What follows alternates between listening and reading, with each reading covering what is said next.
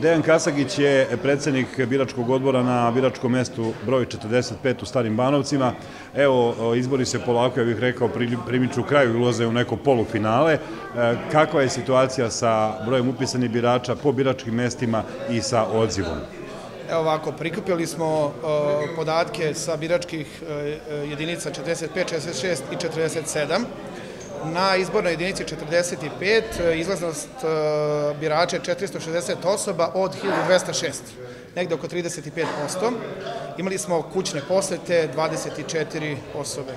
Na izbornoj jedinici 46 izlaznost birača je 635 osoba od 1584 upisana birača, odnosno imamo 35% ovaj, izlaznost i u kućnim posetama je bilo 7 osoba i na izbornoj jedinici 47 izlaznost je 800 osoba na 2072 birača, znači 37%, kućni poseta smo imali 21.